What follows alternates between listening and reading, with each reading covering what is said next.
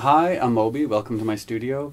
And the song that I'm going to talk about today, well, the song title right now is Little Mike, um, but I have a feeling that we might call it A Perfect Life. I'm not sure. Right now it's unnamed.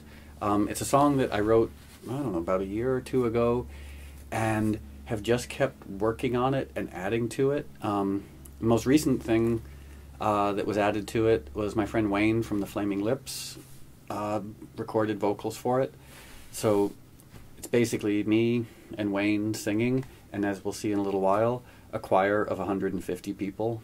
Uh, but the song started with just a simple chord progression, and then uh, I was in New York, and I have a tiny little studio in New York, and I recorded some live drums. I just want to show you how over, un, probably unnecessarily over the top the drum recording was and how weird it became. I mean, at one point, um, I started adding.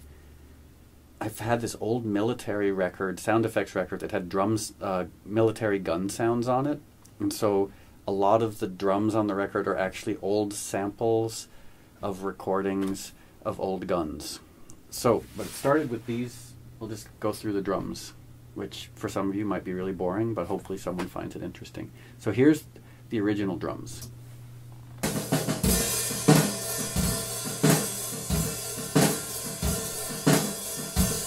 Here, they're kind of messy. And then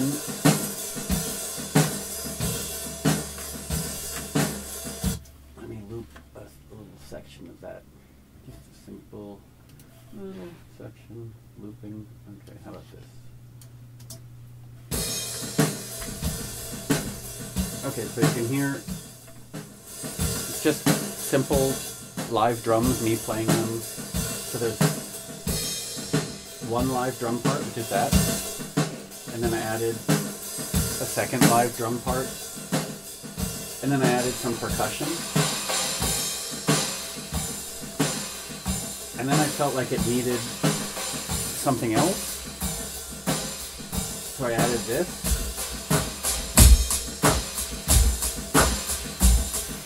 And at this point I felt like the drums started to sound pretty good.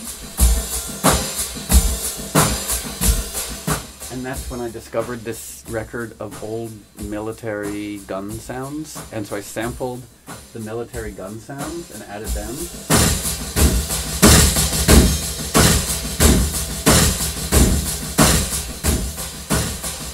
And then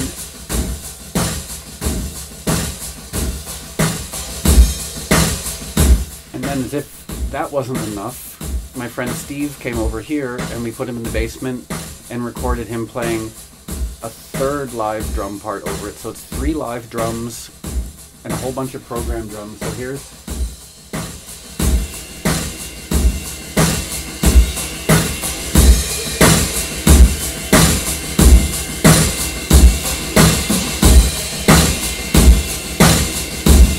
which I think sounds pretty nice.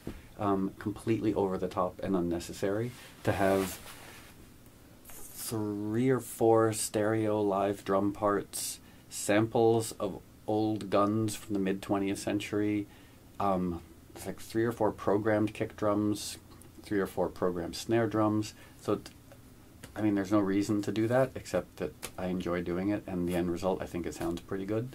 Um, so that's how we recorded the drums for Little Mike, which is what it's called right now, but I don't maybe it'll be called A Perfect Life. Uh, as I'm talking to you, I don't know what the name of the song is. So either Little Mike or A Perfect Life. And that's how we ended up with the drums for it. Thanks.